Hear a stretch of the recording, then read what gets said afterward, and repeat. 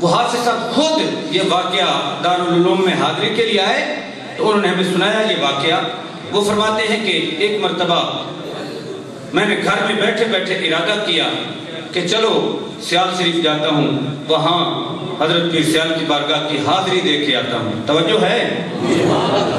सियाल शरीफ जाकर हजूर पीर सियाल की बारगाह की हाजिरी देता हूँ। हाफ़ साहब फरमाते मैं घर से रवाना हुआ। सियाल शरीफ अड्डे पे उतरा अड्डे पे उतरा ही सही। दरबार शरीफ की तरफ़ मुँह करके चल दिया जब मैं तालाब के करीब पहुँचा तो सामने जो जगह खाली है ना, वहाँ ने वहाँ मैंने देखा कि पीरों का पीर, हज़रत शेखुल इस्लाम ख्वाजा मोहम्मद कमरुद्दीन सियालवी, आप वहाँ चक्कर लगा रहे हैं। इस तरह खाली जगह पे फिर रहे। हैं तो मेरी किस्मत का सितारा जाग उठा। बड़ा खुश हुआ कि आप सरे राह मिल गए। इससे बढ़कर मेरी कौन सी बड़ी सादत होगी? फरमाते मैं दस्त बस्ता हाजिर हुआ। दुआ सलाम हुई। दस बोसी की शहादत नसीब हुई। आपने मेरी तरफ़ चेहरा उठा के देखा और खैर खरीत पूछने के बाद फरमाया, हाफिज साहब, कोई मेरे लायक? किसने फरमाया? हुजूर पीर सियाल हज़रत शेख इस्लाम ने फरमाया, हाफिज साहब कोई खिदमत मेरे लायक तो हाफिज साहब खुशी से फूले नहीं सी मारे कि कहा मैं और कहा ये जमाने का शेखुल इस्लाम? आज करम, दरियाए करम जोश में है, मौज में है, खुद फरमा रहे हैं। क्या आप साहब कोई खिदमत मेरे लाए आप साहब फरमाते हैं कि मैंने जेन दौड़ाया, एक बात मेरे जेन में आ गई। वो बात कैसी थी? फरमाते हैं कि मैंने नया मकान घर तामीर किया। बात समझ आ रही है? नया मकान घर तामीर किया पुराने मकान में रिहायश रखी हुई थी, नया मकान बनाया था। लेकिन उसमें खुद डेरा लगाने से पहले अल्लाह की कोई और मखलूक आबाद हो गई। वो क्या? कीड़े, मकोड़े, हर तरफ़ कतार अंदर कतार नज़र आती है। हाफसा फरमाते हैं, बड़े वजीफे भी किए, दम दरूद भी किए, बड़ी दवाएँ इस्तेमाल की, पाउडर इस्तेमाल किए, जो तदबीर मैं कर सकता था आजमा सकता था। हर तदबीर मैंने आजमाई, कोई तदबीर कारगर साबित न हुई। बड़ा परेशान। जब हज़रत साहब ने फरमाया ना, आप साहब को मेरे लायक खिदमत। तो मेरे दिल में फ़ौरन ख्याल आ गया कि अल्लाह का वली गौ से आज़म है। आज मौज में है और खुद इरशाद फरमा रहे हैं, मेरे लायक खिदमत। तो मैंने दस दस्त अर्ज़ कर दी हुजूर नया मकान तामीर किया है लेकिन अपना सामान रखने से पहले अल्लाह की और मखलूक ने डेरा डाल दिया है। आपने फरमाया कौन सी मखलूक? अर्ज़ की हजूर कीड़े मकोड़े निकल आए बड़ी तदबीरें। आजमाई कोई तदबीर कारगर साबित नहीं होती। वृद्ध वजीफे भी किए हैं लेकिन वो मेरे मकान को छोड़ते नहीं। तो आपने कंधे पे हाथ रखा और इरशाद फरमाया हाफिज साहब जब घर पहुँचना ना तो उस वक्त नए मकान का दरवाज़ा खोलकर, कतार में लगे कीड़ों को पकड़कर, एक कीड़ा उठा के अपनी जबान के करीब करके उसे मेरा पैगाम देना। एक कीड़ा उठा के जबान के करीब करके, उसे मेरा पैगाम देना। पैगाम क्या था? कि अल्लाह की मखलूक तुम्हारे नाम फकीर कमरुद्दीन का एक पैगाम है। तुम्हारे नाम फकीर कमरुद्दीन का एक पैगाम है कि अल्लाह की ज़मीन बड़ी वसी है। मेरे घर को छोड़ अल्लाह की ज़मीन बड़ी वसी है। मेरा घर खाली कर दो। बस अल्लाह के वली ने अपनी जबान से जुमले इरशाद फरमा दिए। फरमाते, मेरा यकीन कामिल था।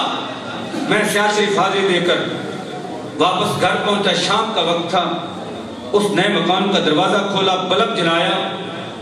तो उसी तरह कीड़े मकोड़े कतार अंदर कतार नज़र आए मैंने एक कीड़ा मकोड़ा पकड़ा, जबान के मुँह के करीब करके मैंने कहा कि तेरे नाम फकीर कमरुद्दीन का एक पैगाम है।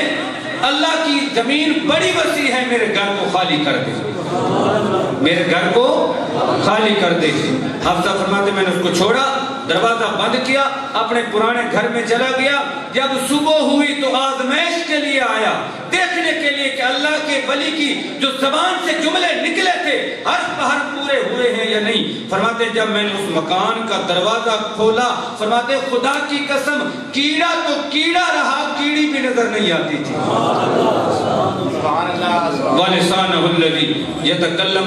अल्लाह फरमाता मैं उस बंदा मोमिन की जबान बन जाता हूँ जिस जबान से वो बोलता है, जबान उसकी होती है, लेकिन उस जबान के अंदर अल्लाह का नूर जलाल कार फरमा होता है। ये अल्लाह वालों की शान है। इंसान तो इंसान रहे, खुदा की कसम, वो जंगल के जानवरों के दिलों में भी अल्लाह रब्बुल इज़्ज़त ने उनकी मोहब्बत डाल दी है। और वो जबान से कह देना, जलती हुई आग को तो जल्दी जलती हुई आग उनका हुक्म मान लेती है। हज़रत अमीर उमर इबन खत्ताब का दौरे पाक है। मदीना तय्यबा में आग लग गई और आग बुझने का नाम नहीं लेती। बड़ी तदबीरें आजमाई गई। कोई तदबीर कारगर साबित नहीं होती। बुझने का नाम नहीं लेती। साहबा किराम अजमैन बड़े परेशान कि अगर आग इसी तरह जलती रही जिसके शोले आसमान से बातें कर रहे हैं, हमारे घर जल जाएँगे, मवेशी जल जाएँगे, तबाह बर्बाद हो जाएँगे, बच्चे जल जाएँगे। बड़े परेशान। बिल आखिर सोचा कि उमर उमर इबन खत्ताब की बारगाह में जाते हैं। अच्छा इससे पता चला कि नबी के सहाबा का ये अकीदा था कि अल्लाह वालों की बारगाह में जाएँ तो मुश्किलें हल हो जाती हैं। वरना वो सहाबा हैं। उन्होंने भी चेहरा बदोहा को देखा हुआ था। मदीने के धरती के बासी हैं। क्या वो नमाजें नहीं पढ़ते थे? रोज़े नहीं रखते थे? वो नबी सलाम के सहाबी थे? खुदा की कसम, नबी सलाम के सहाबी की शान क्या है? उम्मत का कोई दूसरा फ़र्क? नमाजें पढ़ के। नमाजी तो बन सकता है। तबाफ खाना काबा करके। हाजी तो कहला सकता है। मैदान कारजार में अपनी जान कुर्बान करके शहीद बन सकता है, दुश्मन को दुश्मन को जेर करके गाजी कहला सकता है अब्दाल बन सकता है।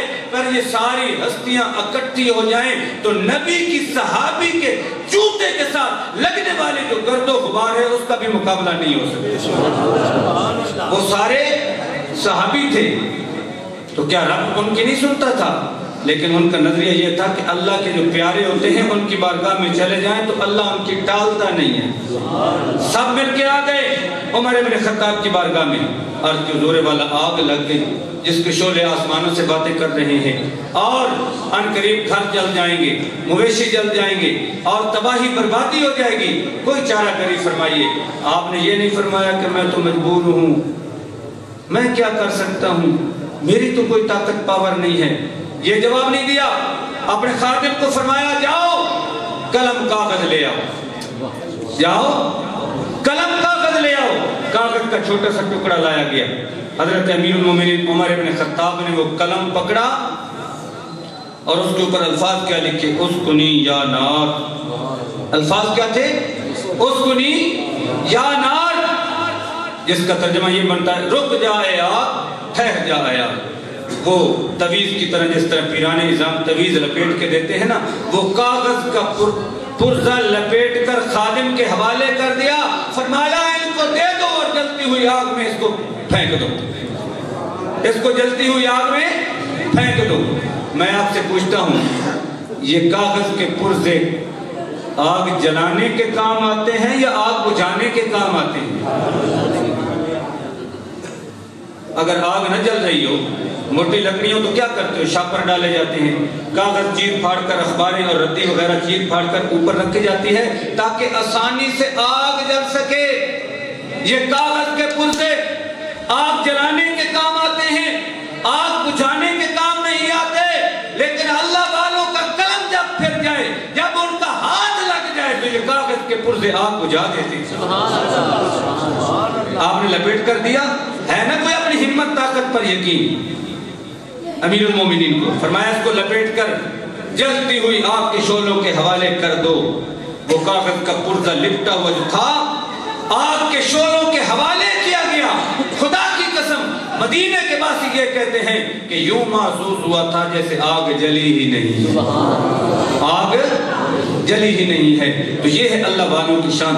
हज़रत मोहतरम, जब बंदा रियासतें करता है, मुजहदे करता है, अल्लाह रब्बुल इज़्ज़त की बारगाह में जबीन नियाज झुका देता है तो उस बंदा मोमिन का सीना अल्लाह रब्बुल इज़्ज़त के अनवार का खजीना बन जाता है। इसलिए फरमाया गया, अर्शुल मोमिन, कल्बुल मोमिन अर्शुल्लाह। मोमिन का दिल जो होता है, वो अल्लाह का अर्श होता है। और दूसरे मकाम पर फरमाया गया, ला यसौनी अर्दी वला समाई वला की यसौनी कल्ब अब्दुल मोमिन। लोगो, अल्लाह फरमाता है, लोगो, ना मैं जमीनों में सिमा सकता हूँ, ना आसमान में ही गुंजाइश रखते हैं, क्योंकि वो महदूद हैं और मैं लामहदूद हूँ। मेरी शान क्या है कि मैं लामहदूद हूँ, वो महदूद लामहदूद जो होता है, वो महदूद में सिमा नहीं सकता। इसलिए न मैं जमीनों में सिमा सकता हूँ, न आसमान मेरी गुंजाइश रखते हैं। लेकिन फरमाया, वाला कि यसोनी कल अब्दुल मोमिन। अल्लाह फरमाता है, कहीं मैं सिमा सकता हूँ तो वह बंदा मोमिन का दिल है। इसलिए तो डॉक्टर मोहम्मद इकबाल ने फरमाया ना, अर्जो समा कहाँ, तेरी वसअत को पा सके, ये मेरा ही दिल है वो कि जहाँ तू सिमा सके। जब वो दिल अल्लाह रब्बुल इज़्ज़त के अनवार का खजाना बन जाता है और साफ़ शफाफ आईने की तरह होता है और अल्लाह रब्बुल इज़्ज़त के अनवार का मरकज बन जाता है तो पूरा जिस्म अल्लाह रब्बुल इज़्ज़त के अनवार का मरकज बन जाता है। तो फिर जेरे ज़मीन जो कुछ हो रहा होता है, अल्लाह वाला उसे भी देख रहा होता है। इसलिए तो अल्लामा साहिब मानी ने फरमाया कि बंदे को अपनी हकीकत समझनी चाहिए। फरमाते बंदे मोमिन तेरी शान क्या है? अल्लाह के वली का मकाम क्या है? फरमाते तू ये गुमान करता है कि तू एक पाँच छह फुट का मुजस्मा है? नहीं नहीं तू पाँच छह फुट का मुजस्मा नहीं। अपनी औकात को दे अपनी हकीकत को दे वफी का इंतवल आलम अकबर, तेरे अंदर तो सारी कायनात सजी हुई है। वफी का इंतवल आलम अकबर, तेरे दिल में सारी कायनात रब ने रख दी है। इसलिए हज़रत शेख अब्दुल कादिर जिलानी, महबूब सुबहानी, ग्यारहवीं वाले पीर फरमाते हैं नज़र तो इला बिला दिल्ला जमान का अला हुक्म लोगो, अल्लाह की ज़मीन, ये सारी मखलूक आसमान मेरे सामने इस तरह है जिस तरह हाथ की हथेली पे रखा हुआ राई का दाना होता है तो नज़रों से कोई कोशा उसका ओझल नहीं होता। सारी कायनात मेरे सामने इस तरह है। जी अल्लाह वाले की नारे रिसालत नारे हैदरी लजपाल लजपाल वीर सियाल वीर सियाल इसलिए तो अल्लाह वाले के सामने लौहे महफूज होते हैं लौहे महफूज पेशे अलिया अल्लाह वालों के सामने लोहे महफूज भी उनके सामने होती है। वो फर्श ज़मीन पे बैठे होते हैं। जेरे ज़मीन जो कुछ हो रहा होता है, उसे भी देख रहे होते हैं। और अर्श बरी पे जो कुछ हो रहा होता है, उसे भी देख